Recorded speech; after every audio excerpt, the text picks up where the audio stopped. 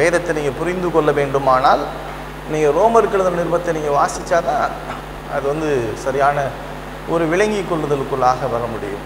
அநேக பெரிய சீர்திருத்தங்கள் மாற்றங்கள் ஏற்படுத்தியன ஒரு புஸ்தகம். இது ஏற்கனவே நம்முடைய திருச்சபையில் அநேக ஆண்டுகளாக போதிக்கப்பட்டிருக்கிறது.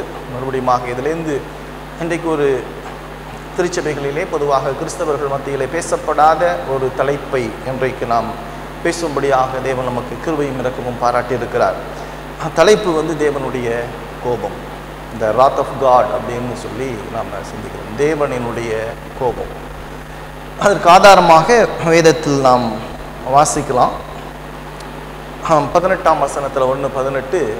சத்தியத்தை அநியாயத்தினாலே அடக்கி வைக்கிற மனுஷனுடைய எல்லாவித அவபக்திக்கும் அநியாயத்துக்கும் விரோதமாய் தேவ கோபம் வானத்திலிருந்து வெளிப்படுத்தப்பட்டிருக்கிறது. ஒரு விஷயம். அடுத்தது தேவனை குறித்து அறியப்படுவது அவர்களுக்குள்ளே வெளிப்படுத்தப்பட்டிருக்கிறது. தேவனே அதை அவர்களுக்கு வெளிப்படுத்தி இருக்கிறார் எப்படி என்றால் காணப்படாதவைகளாகிய அவருடைய நித்திய வல்லமை தேவத்துவம் என்பவைகள் உண்டாக்கப்பட்டிருக்கிறவைகளினாலே உலகம் உண்டானது முதற்கொண்டு தெளிவாய் காணப்படும். ஆதலால் அவர்கள் போக்குச் சொல்ல இடமில்லை அப்படின்னு சொல்லி பார்க்கணும்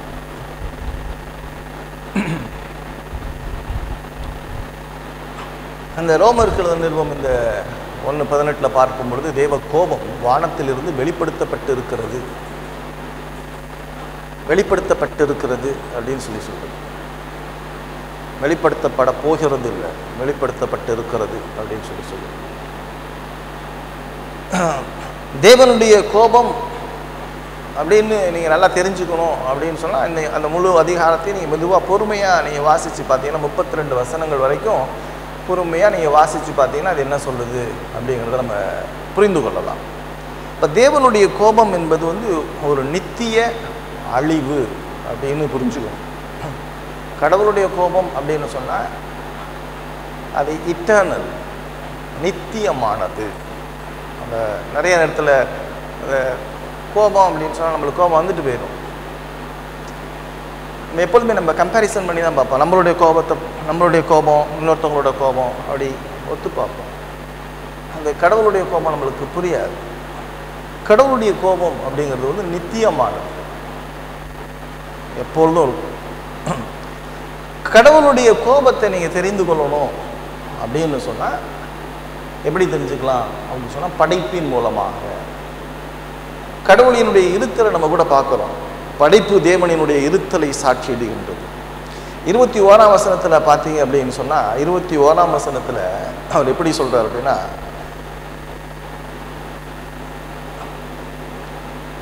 அவர்கள் தேவனை அறிந்தும் அவர்களை தேவன் என்று மகிமைப்படுத்தாமலும் ஸ்தோத்தரியாமலும் தங்கள் சிந்தனைகளினாலே வீணரானார்கள். உணர்வில்லாதவருடைய இருதயம் இருளடைந்தது. கடவுள் தன்னை வெளிப்படுத்தியிருந்தோம். அதாவது முத வசனத்தில் பார்த்தீங்கன்னா எப்படி என்றால் காணப்படாதவைகளாகிய அவருடைய நித்திய வல்லமை தேவத்துவம் என்பவைகள். எப்படி எப்படி எப்படி சொல்லப்பட்டிருக்கான் தேவத்துவம் என்பவைகள். உண்டாக்கப்பட்டு இருக்கிறவைகளினாலே உலகம் உண்டானது முதற்கொண்டு தானாய் வெளிப்படும். ஆகவே இவர்கள் போக்கு சொல்ல இடம் கிடையாது. கடவுள் இல்லைன்னு யாரும் போக்கு சொல்ல முடியாது. ஆனால் அவன் கடவுள் யாருன்னு தெரிஞ்சு அவன் கடவுளை வந்து உதறிட்டான். அந்த வேதம் என்ன சொல்லுதுன்னா அவர்கள் தங்கள் சிந்தனைகளினாலே வீணரானார்கள் அப்படின்னு சொல்லி சொல்லுது.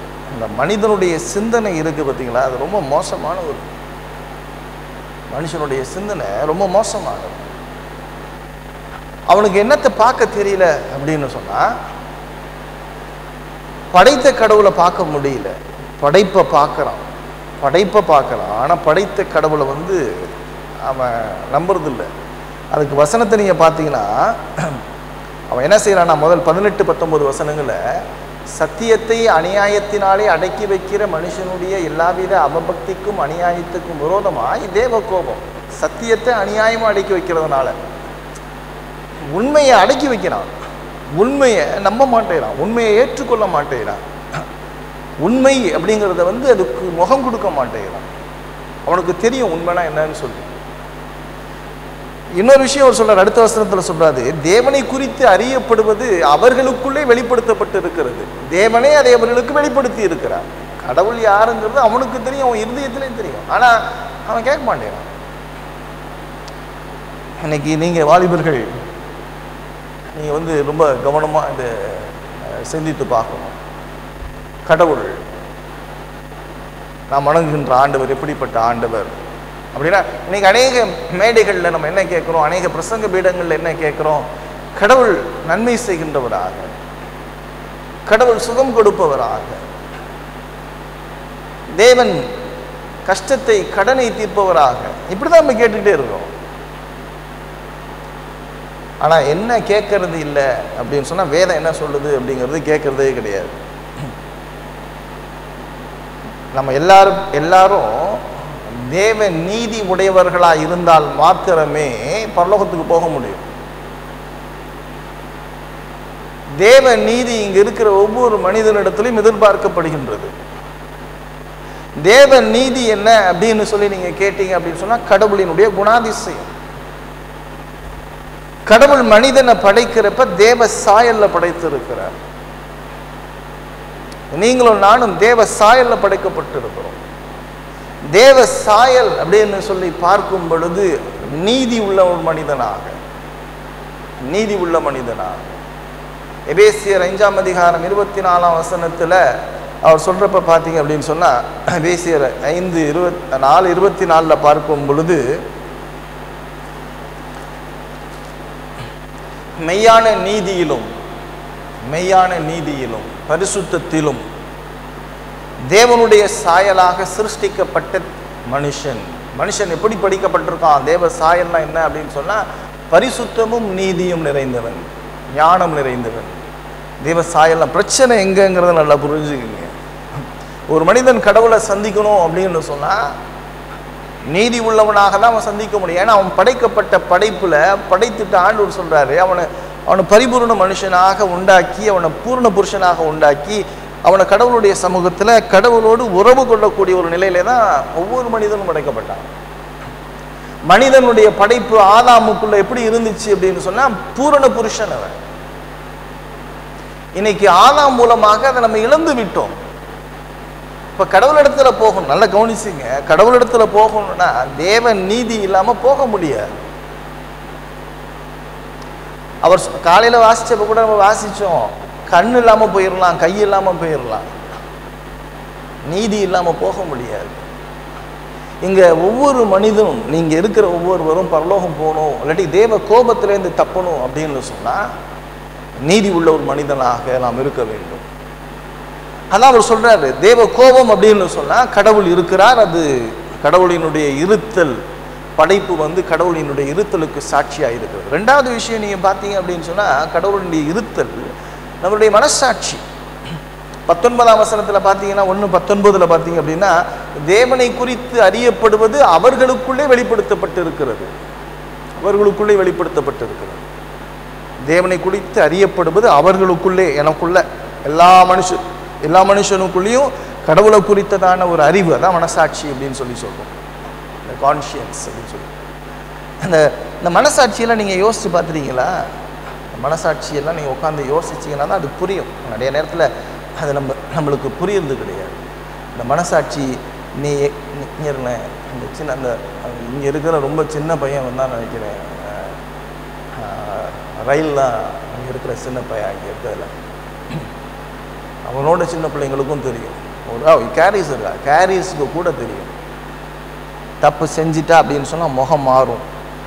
கையை மறைக்கும் ஒளியும். இதெல்லாம் செய்யும். அதெல்லாம் வந்து என்ன அப்படின்னு சொன்னால் உள்ளத்துக்குள்ள கடவுளால் கொடுக்கப்பட்ட அந்த மனசாட்சி கடவுளுடைய நீதியை செய்யாததினால் அவன் முகம். ஆண்டவர் கேட்கிறாருல காயின் இடத்துல உன் முகம் நாடி முகநா முகநாடி வேறுபட்டது என்ன பாவம் உன் வாசற்படியில் படுத்திருக்கவில்லையோ? கேட்குற எந்த மனுஷனும் தப்ப முடியாது. கடவுளுடைய கோபத்திலிருந்து எந்த மனிதனும் தப்பித்து கொள்ள முடியாது. ரொம்ப அலட்சியமாக நினைச்சிட்டு இருக்கிறோம் இன்னைக்கு கிறிஸ்தவம் வந்து ரொம்ப ரொம்ப அலட்சியமாக நினைச்சிட்டு இருக்கு தேவனுடைய நீதியை குறித்து நி- நினைக்கிறப்பையும் தேவனுடைய பரிசுத்தத்தை நினைக்கிறப்பையும் தேவ கோபத்தை நினைக்கிறப்பையும் ரொம்ப அலட்சியமாக நினைச்சிட்டு இருக்கு இந்த மனசாட்சிங்கிறது இருக்கு பார்த்தீங்களா இட்ஸ் யுவர் விட்னஸ் நீ என்ன பேசுறியோ என்ன நினைக்கிறியோ அதெல்லாம். ஏன்னா நம்ம உள்ளுக்குள்ளே ஒன்று நினைப்போம் வெளியில் ஒன்று பேசுவோம். உள்ளு உள்ளத்துக்குள்ள நினைச்சதுக்கும் வெளியில பேசுறதுக்கும் அநேக மாறுபாடுகள் இருக்கும். இதெல்லாம் யார் கவனிச்சிட்டு இருக்கா அது உனக்கு தெரியும் அது கடவுள் உன்னை கவனித்து கொண்டு இருக்கு அநேக நேரங்கள் எல்லாம் மறந்துடும் நம்மளுக்கு தெரியல. அப்ப கடவுளினுடைய கோபம் இருக்கு அப்படிங்கிறதுக்கு முதல் ஆதாரம் வந்து படைப்பு. ஏன்னா அவனுடைய மனசாட்சியில் அது இந்த நான் கடந்த வாரத்தில் கூட பேசுகிறப்ப கூட சொன்னேன். அதாவது இந்த விக்கிரக ஆராதனை அப்படின்னு சொன்னால் அது என்ன அப்படின்னா என் மனசில் இருக்கிற விருப்பத்தினுடைய வெளிப்பாடு தான்.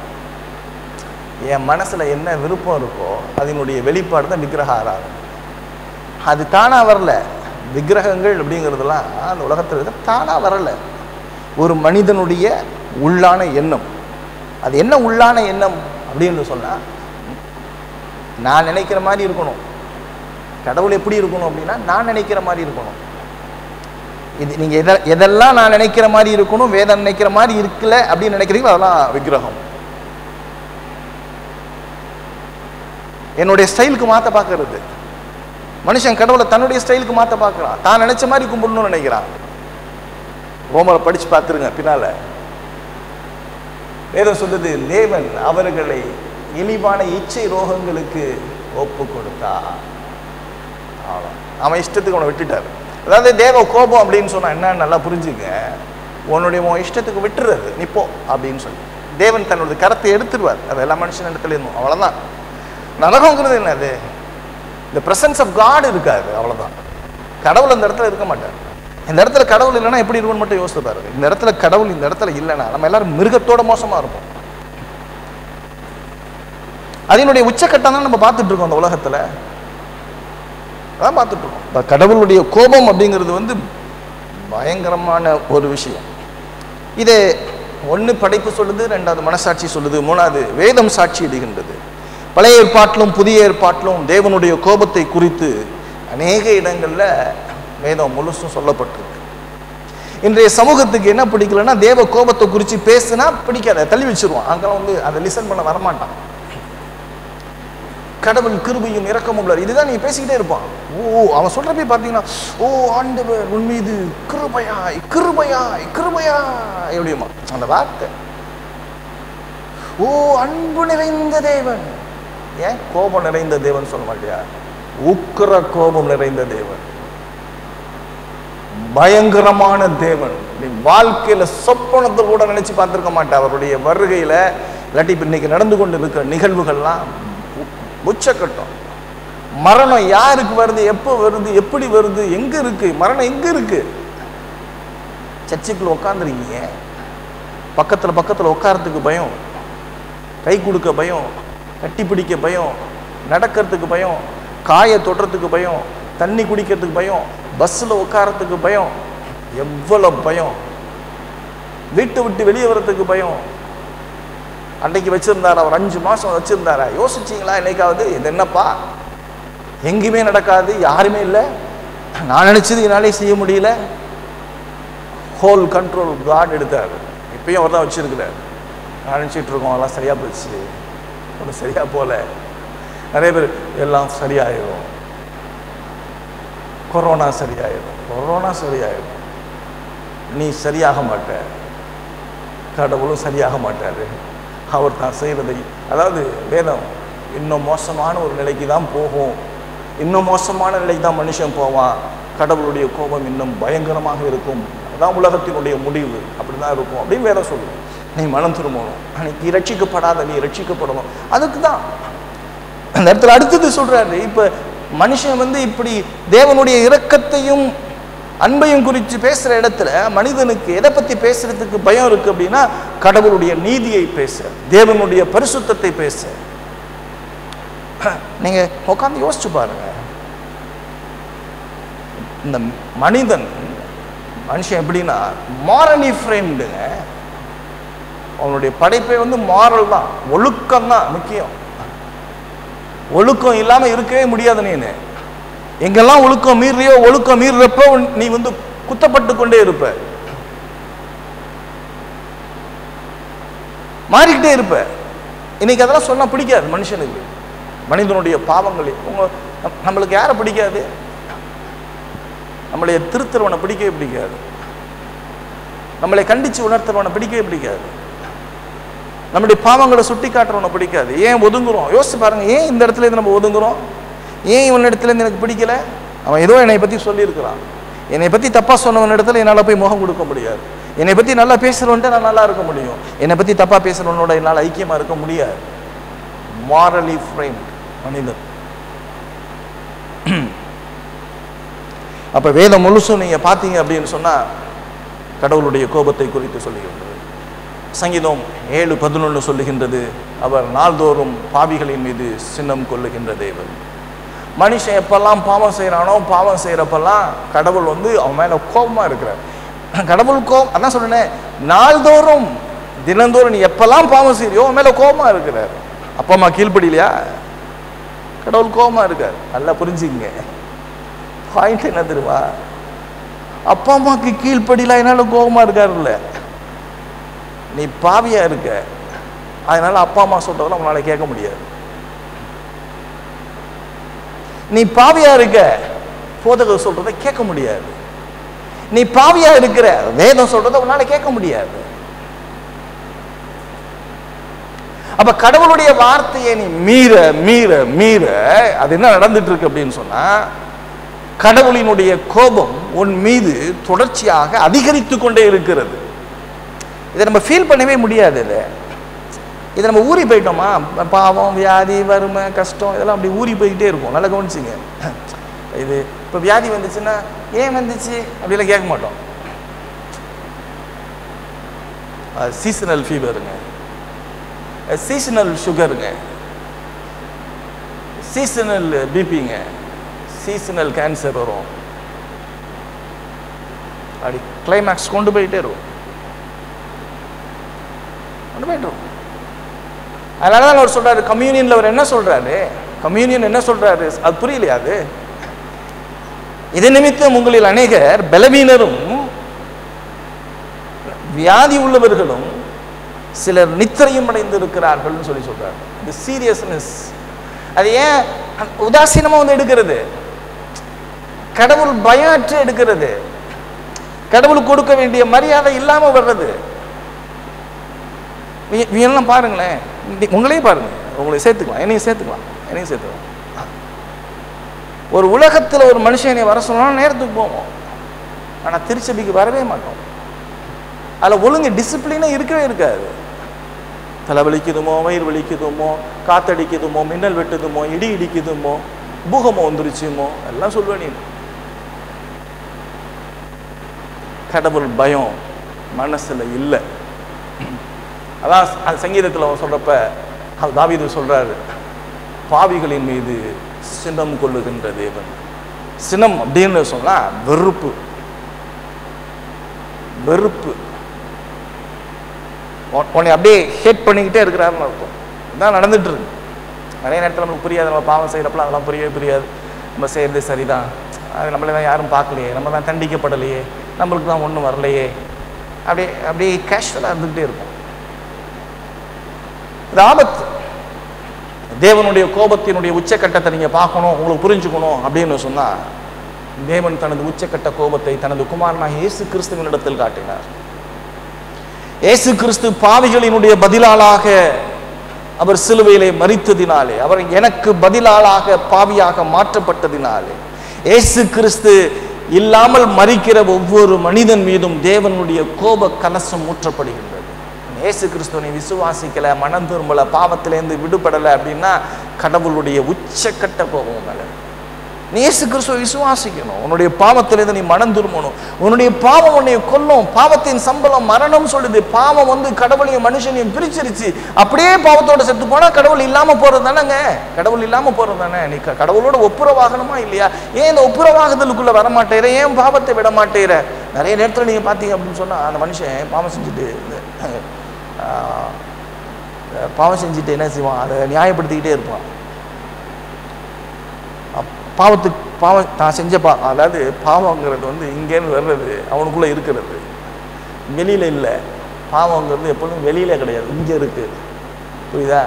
இங்கே இங்கே இருக்கிறது அங்கே இருக்கிறது உள்ளுக்குள்ளே இழுத்துப்போம் இழுத்துக்கிட்டு இங்கே குற்றம் சொல்லாது அங்கே குற்றம் சொல்லுவோம் இதான் சின் நியாயப்படுத்தும் பாவம்.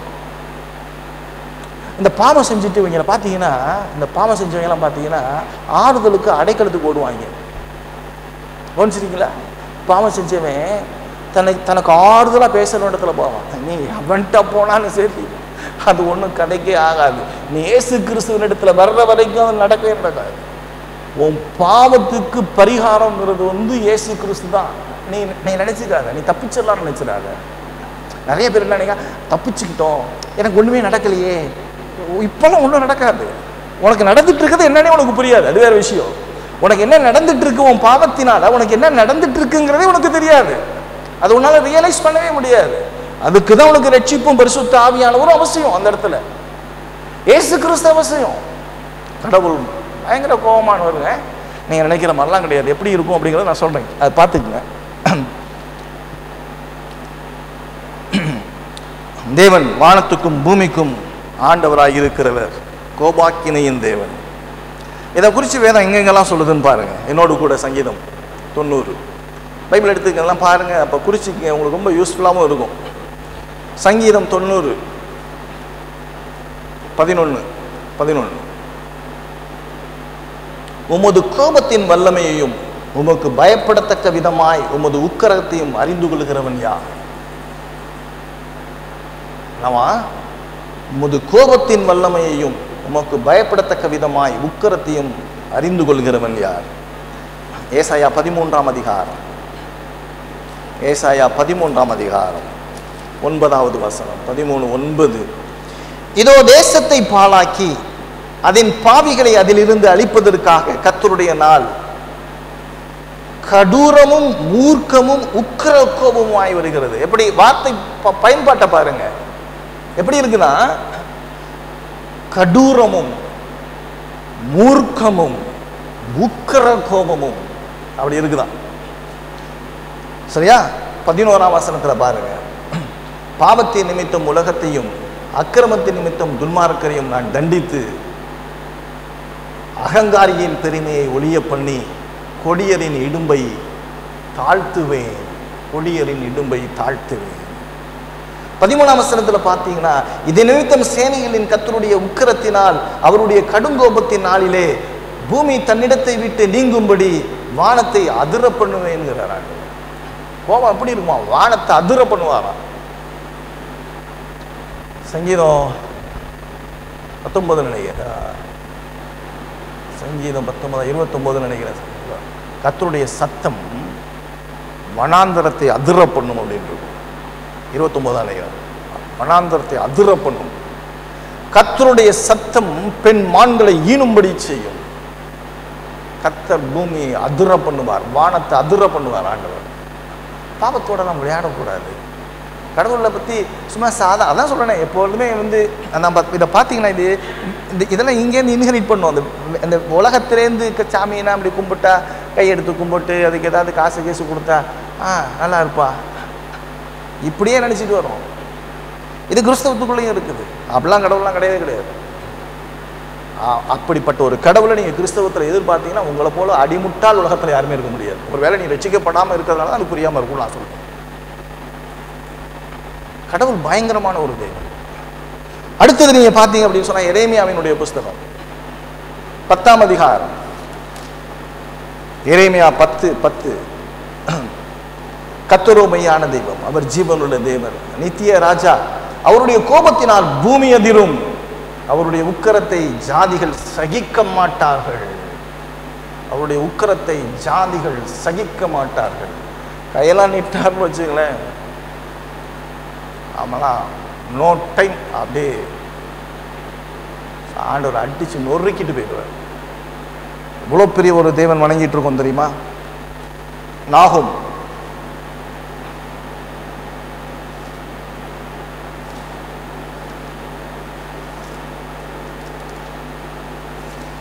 நாகும் முதலாம் அதிகாரம் ரெண்டாம் வசனத்தில் பாருங்க. கத்தர் எரிச்சல் உள்ளவரும் நீதியை சரி கட்டுகிறவருமான தேவன். கத்தர் நீதியை சரி கட்டுகிறவர் உக்குர கோபம் உள்ளவர். கத்தர் தம்முடைய சத்துருக்களுக்கு சத்துருக்களுக்கு பிரதிப பிரதிபலன் அளிப்பவர். அவர் தம்முடைய பகைஞருக்காக கோபத்தை வைத்து வைத்திருக்கிறார். கத்தர் நீடிய சாந்தமும் மிகுந்த வல்லமையும் உள்ளவர். அவர்களை ஆக்கணி இல்லாமல் தப்புவிக்க மாட்டார். கத்தருடைய வழி சுழல் காற்றிலும் பெருங்காற்றிலும் இருக்கிறது. மேகங்கள் அவருடைய பாதத்தூளாய் இருக்கிறது. அவர் சமுத்திரத்தை அ- அதட்டி அதை வற்றி போக பண்ணி சகல ஆறுகளையும் வறட்சியாக்குகிறார். பாசாலும் கர்மேலும் சோ சோர்ந்து லிபனோனின் செழி செழிப்பு வாடி போகும் அவர் சமுத்திரத்தில் பர்வதங்களை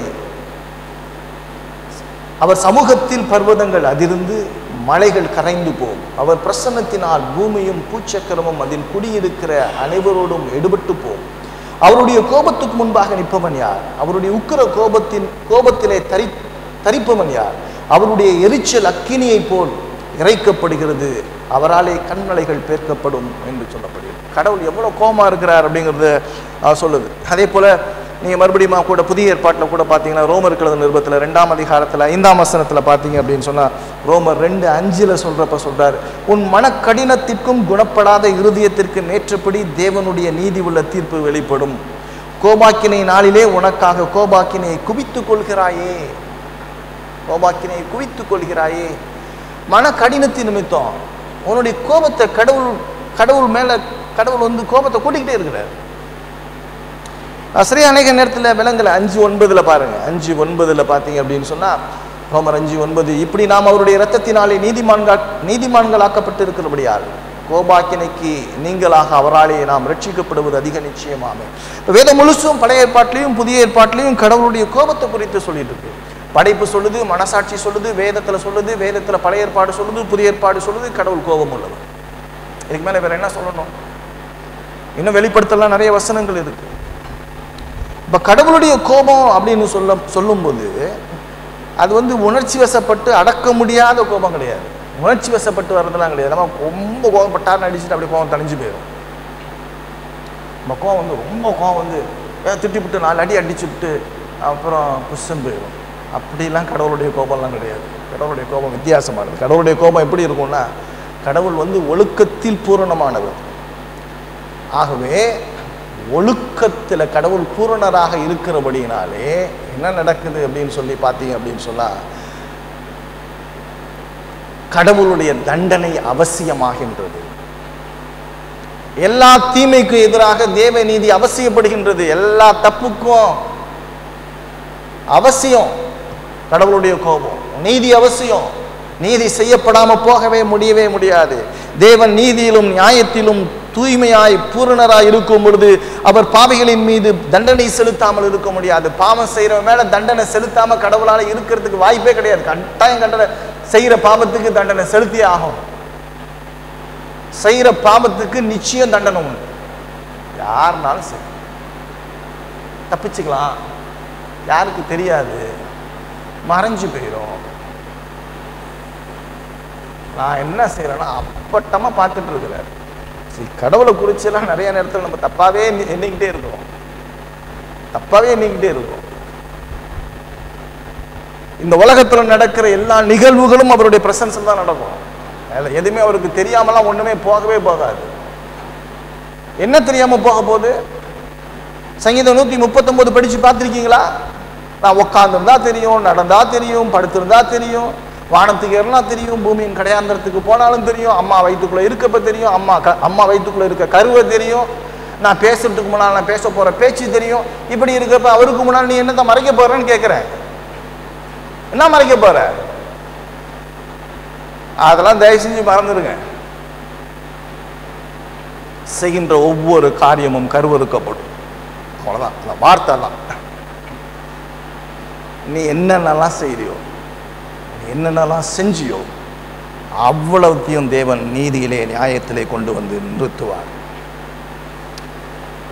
வானத்துக்கும் பூமிக்கும் ஆண்டவர் கோபாக்கினை உள்ள தேவன் வேதம் முழுசும் கடவுள் கோபாக்கினை உள்ளவர் கோபாக்கினை உள்ளவர் அப்படின்னு வேதம் சொல்லுதே. வேணா போய் ஆதாம கேட்டுப்பாரு. பாவம் செஞ்சான்ல ஆதாம போய் கேட்டுப்பாரு. கடவுள் கோபமா இருந்தாரா இல்லையான்னு போய் ஆதாம கேட்டுப்பாரு. துரத்தி விட்டாரு. போய் காயினை கேட்டுப்பாரு. காயினை கேட்டுப்பாரு. பாரம் சுமந்து அலைஞ்சவனாவே தெரிஞ்சான். வாழ்க்கை முழுசா அலைஞ்சுக்கிட்டே இருந்தான். பாவத்தை சுமந்துக்கிட்டு. ஒரு இடத்துல ஸ்டேபிளா இருக்க முடியல. நோவாவின் நாட்கள் அந்த ஜனங்களை கேட்டுப்பாரு. நூத்தி இருபது வருஷம் பிரசங்கம் கேட்டு மனம் திரும்பாமல் போன அந்த ஜனங்களை கேட்டுப்பாரு தான் பாவத்துல சந்தோஷமா வாழ்ந்துட்டு இருந்தானே. பெண்ணை கொடுத்து பெண்ணை எடுத்து ஜாலியா வாழ்ந்துட்டு இருந்தானே. அவனை போய் கேட்டுப்பாரு பேர். பெரும் வெள்ளம் வந்தப்ப எப்படி இருந்தேன்னு சொல்லி கேட்டுப்பாரு பெரு. வெள்ளம் வந்தப்ப நீ எப்படி கத்துன? நீ எப்படி அலண்ட? எப்படி தவிச்ச உன் பிள்ளை குட்டியோட எப்படி செத்து போன? உன்னுடைய மரணம் எவ்வளவு துடிப்பா இருந்துச்சு? உன் மரணம் எவ்வளவு உன்னை கஷ்டப்படுத்துனுச்சு? ஐயோ ஐயோ ஐயோன்னு கத்துனியே. அவனை போய் கேட்டுப்பாரு போய் கேட்டுப்பார். சோதம் குமாரால போய் கேட்டுப்பாரு. அக்னியும் கந்தகமும் எப்படி இருந்துச்சுன்னு போய் சோதம் குமாரால கேட்டுப்பாரு. செஞ்ச பாவம் எப்படி? ஆணோட ஆண் அவலட்சணமானதை நடப்பித்த சோதம் குமாரா மக்கள் பெண்ணோட பெண் அவலட்சணமாய் செய்த மக்கள் பெண் கொடுத்து பெண் எடுத்துக்கொண்ட ஜனங்கள். சோதம் குமாரால போய் கேட்டுப்பார். தேவனுடைய கோபம் எப்படிப்பட்டது என்று. வேணும்னா இன்னும் வேணும்னா கோராகிட்ட போய் கேட்டுப்பாரு கோராக புத்திரட்ட போய் கேட்டுப்பாரு அப்படியே நின்றுட்டு இருக்கப்ப பூமி பிறந்துக்குச்சு. கீழே போய்கிட்டே இருக்கான். எவ்வளவு தூரம் போனான்? போய்கிட்டே இருக்கான். கத்திக்கிட்டே போயிருப்பான். பூமி மூடிடுச்சு. எப்படி இருந்திருக்கும்? உள்ளுக்குள்ள யோசிப்பார் கற்பனை பண்ணிப்பாரு நீ அநேக நேரங்களில் பூமி மூடிச்சு தாத்தான் கோராக பூமி மூடிப்பட்டது அப்படின்னு நினைக்கிறேன். பூமி மூடி இருக்கணும் தாத்தானும் கோராகும் உள்ளுக்குள்ள போறப்ப என்ன அதிர்வு இருந்திருக்கும் என்ன பயம் இருந்திருக்கும் என்ன ரணகலமா இருந்திருக்கும் என்ன திகச்சிருப்பான் அநேக நேரங்களில் வேதத்தில் தேவனுடைய கோபத்தை குறித்து நம்ம அசாதாரணமாக நினச்சிட்டு இருக்கோம். போய் ஒப்பினி பிணக்காசிட்ட போய் கேட்டுப்பார் தேவ கோபத்தை குறித்து ஏலியின் பிள்ளைகள் இடத்துல. எப்படி வெட்டுப்பட்டு செத்து போனேன்னு போய் கேட்டுப்பார். போய் எருசலேம் ஜனங்களை எழுபது ஏடியில தீத்து பேரரசன் போய் அழிக்கிறப்ப அங்கே நடந்ததை போய் கேட்டுப்பார். தேவனுடைய கோபம் எப்படி இருந்துச்சுன்னு சொல்லி. இன்னும் தெரிஞ்சுக்கணுமா? தேவ கோபத்தை நல்ல வேதத்தை படிச்சுப்பார். கடவுள் கோபமா இருக்கிறாரா? எப்படிப்பட்டவராக இருக்கிறார் என்பதை நீ தெரிந்து கொள். ஒரே ஒரு விஷயம் சொல்கிறேன் கேட்டுக்கோ. இயேசு கிறிஸ்து இல்லை அப்படின்னு சொன்னா உனக்காகவே உனக்காகவே நியமிக்கப்பட்ட இடம் நரகம். நீ மனம் திரும்பி இயேசு கிறிஸ்துவை நீ விசுவாசிக்கல அப்படின்னு சொன்னா உனக்கு உன்னை பயமுறுத்துற நினைச்சிடாத. உனக்கு நான் நினைச்சிட உன்னை பயமுறுத்துறேன் அச்சுறுத்துறேன் நினைச்சிடாத. நீ மனம் திரும்பலனா அங்கதான் உன் நித்தியத்தை நீ கழிக்க போற. புரியுதா? இருக்கிற வாலிப பசங்களாம் கேட்டுக்க. இங்கே இருக்கிற எல்லாருக்கும் சொல்றேன் கேட்டுக்க. ஒரே விஷயம்தான். நீ மனம் திரும்பி நீ ஏசு கிறிஸ்துவை விசுவாசிக்கலனா உனக்காகவே ஏற்படுத்தப்பட்ட ஒரு இடம் நரகம். நீ உன் பாவத்திலேருந்து மனம் திரும்பலனா உனக்காக ஏற்படுத்தப்பட்ட ஒரு இடம்.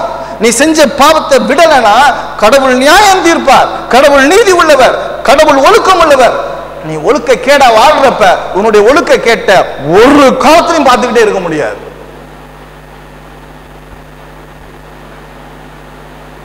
எவ்வளவு சொல்லுது? எவ்வளவு சொல்லுது? போகாத.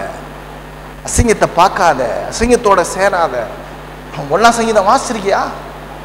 துன்மார்க்கருடைய ஆலோசனைகள் நடவாமலும் பாவிகளுடைய வழியில் நில்லாமலும் பரியாசக்காரர் உட்காரும் இடத்தில் உட்காராமலும்.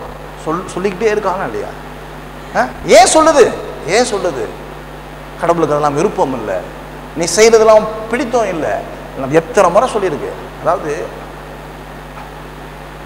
வேதத்தில் இந்த டிசிப்ளின் சர்ச் டிசிப்ளின் காலமுறை பார்த்தோம் பார்த்தீங்களா? அவன் தப்பு தப்பு செய்வான்னு கடவுளுக்கு தெரியும் நல்லா தெரிஞ்சுக்க. தெரியாமலாம் கிடையாது. போய் சொல்லுன்னு சொல்கிறார் ஏன்? ஏன்? திருந்து. ரெண்டு வாட்டி சொல்லு. போய் திருந்து. நிறைய பேர் சொல்ல சொல்ல மனசை கடினப்படுத்திடுவான். நான் செய்யலையே. நான் அப்படி இல்லையே.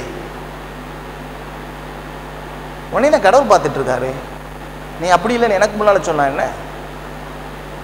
கடவுள் தான் அவனை பார்த்துட்டார ஃபோட்டோ எடுத்துட்டாரு.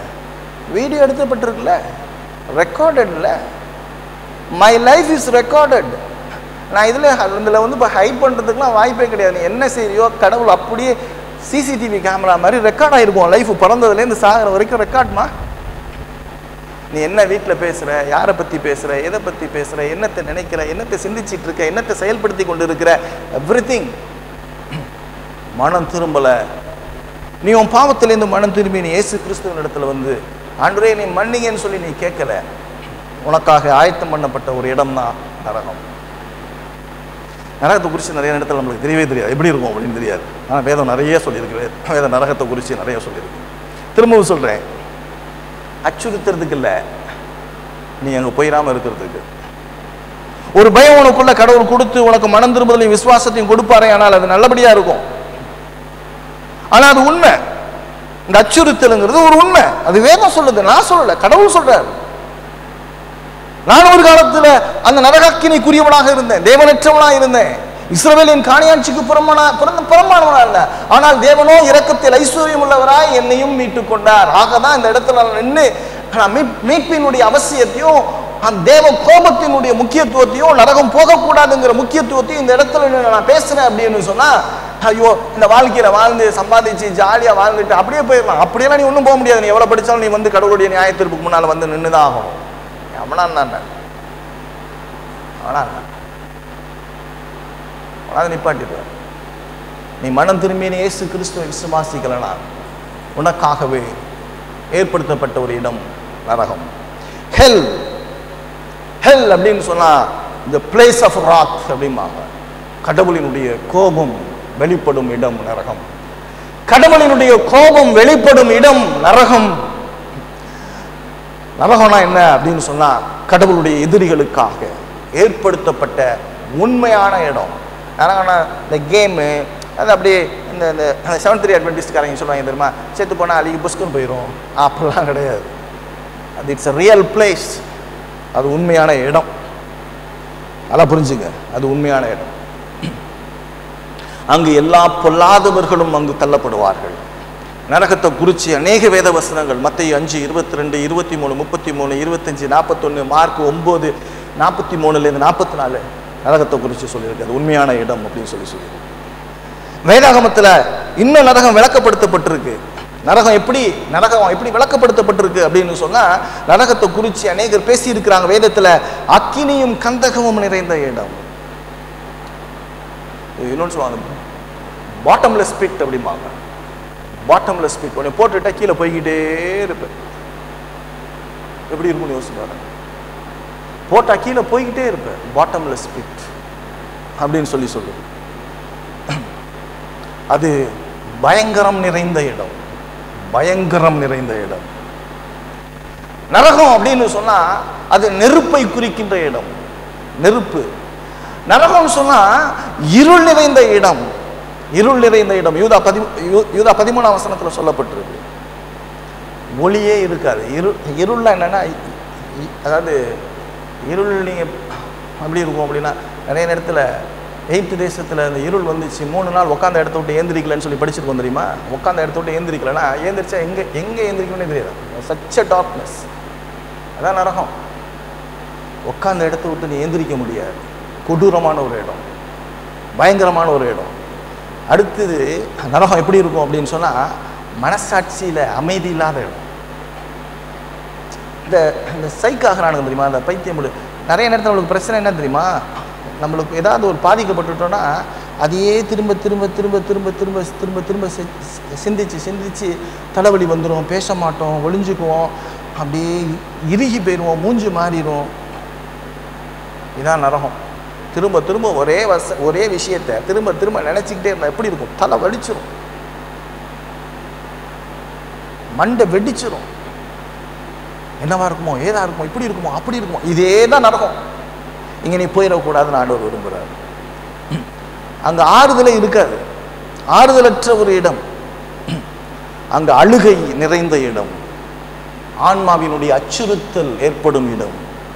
நரகம் என்பது மரணமே இல்லாத ரெண்டாம் மரணம் அப்படின்னு சொல்லி சொல்லுது. பாவி கீழே போய்கிட்டே இருப்பான். தேவனிடத்துல இறக்கத்துக்காக கெஞ்சினாலும் கிடைக்கவே கிடைக்காது. மீள முடியாத இடம் தப்பித்துக் கொள்ள முடியாத இடம் சிறை. சுத்தியில் அடைச்சிருக்கும். எப்படி இருக்கும்? அது மாத்திரம் இல்ல நரகம் உன்னை தப்பவே விடாது. ஏன்னா நியாயப்பிரமாணம் உன்னை தப்ப விடாது. நியாயப்பிரமாணம் உன்னை தப்ப விடாது.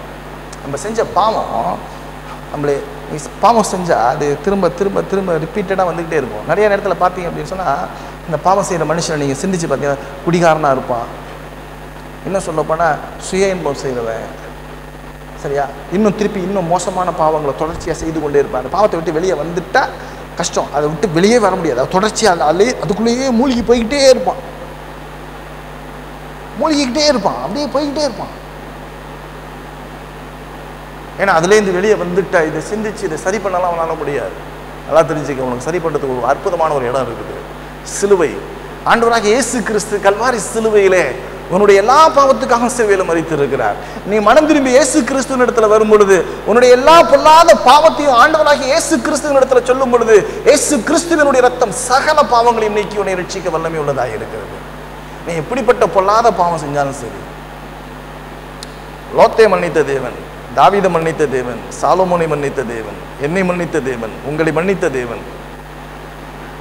ஒன்றுக்கு நீர் ஆறாம் அதிகாரத்தில் சொல்றப்போ சொல்றார் முன்னே நீங்கள் இப்படிப்பட்டவர்களாக இருந்தீர்கள் அப்படின்னு சொல்லி சொல்றார்.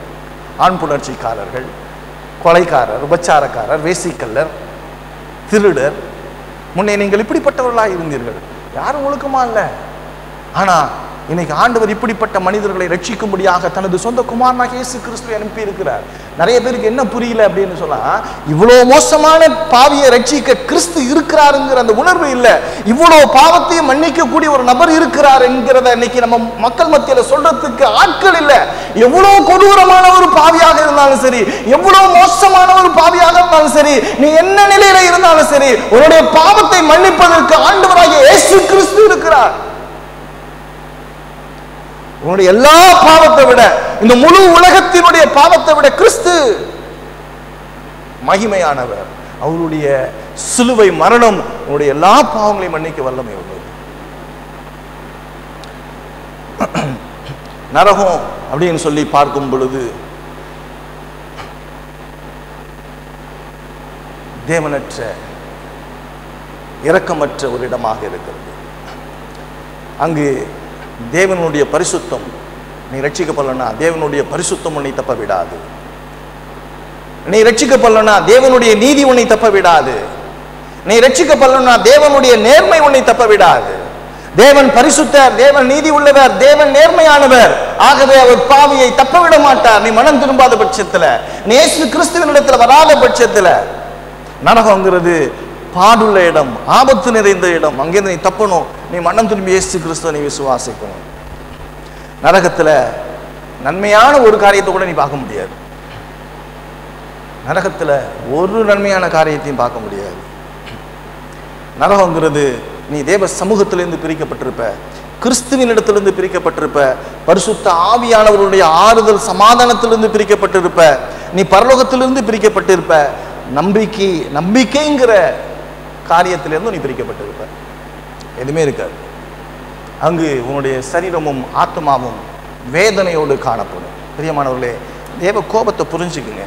தேவ கோபம் பயங்கரமானது. தேவ கோபத்தில் நீ தப்பணும்னு நீ நினைக்கணும்.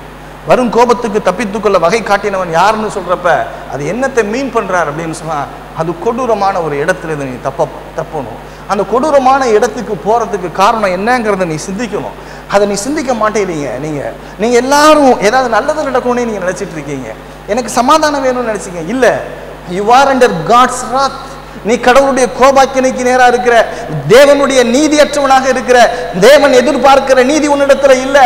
நீ கொடூரமான பாவியாய் தேவனுடைய நீதியற்றவனாய் இருக்கிற. நீ தேவ சமூகத்துல வரணும்னா தேவன் நீதி உடையவனா இருக்கணும். தேவனுடைய நீதி நம்ம யார் இடத்துல இல்ல. தேவனுடைய நீதி யார் இடத்துல இருக்கு அப்படின்னு சொன்னா பிதாவான கடவுள் அனுப்பின ஒரே பேரான இயேசு கிறிஸ்துவின் இடத்துல தான் இருக்குது. அவர் இவரனுடைய நேசகுமாரன் இவரில் நான் பிரியமாயிருக்கிறேன். அவர் திரித்துவத்தினுடைய இரண்டாவது நபர் அவர் வானத்திற்கும் பூமிக்கும் ஆண்டவர் கடவுளாக இருந்தவர் மகிமையில இருந்தவர்.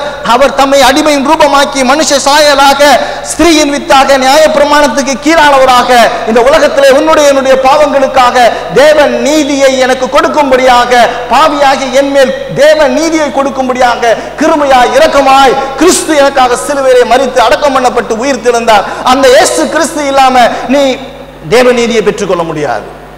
தேவ நீதி இல்லாம நீ பரலோகத்துக்கு வர முடியாது. தேவ நீதி இல்லாம உனக்கு ஏற்படுத்தின இடம் நரகம் மட்டுமே. தேவ நீதி இல்லாம தேவ நீதி செலுத்தும் இடத்திற்கு நீ போய்விடக் கூடாது என்பதற்காக தேவன் சுவிசேஷத்திலே தன்னை வெளிப்படுத்தி இருக்கிறார். அவர் மரணத்தை பரிகரித்து ஜீவனையும் அழியாமையும் சுவிசேஷத்தினாலே வெளியரங்கமாக்கினார் என்று பார்க்கிறோம். நீ இன்றைக்கு மனம் திரும்பாவிட்டால் தேவ கோபாக்கினைக்கு நேராக தேவனுடைய நித்திய அழிவுக்கு நேராக போய்விடுவாய். நீ மனம் திரும்பு இயேசு கிறிஸ்துவை விசுவாசி. அவனுடைய கொடூரமான எல்லா பாவங்களையும் விட கிறிஸ்துவினுடைய சிலுவை மரணம் கிறிஸ்துவினுடைய நீதி உன்னதமானது என்பதை மறந்து விடாது பிரியமானவர்களே மனம் திரும்புங்கள். தேவ கோபாக்கினிலிருந்து தப்பித்துக்கொள்ள கத்தர் கிருபையும் இரக்கமும் பாராட்டுவாராக. ஆமே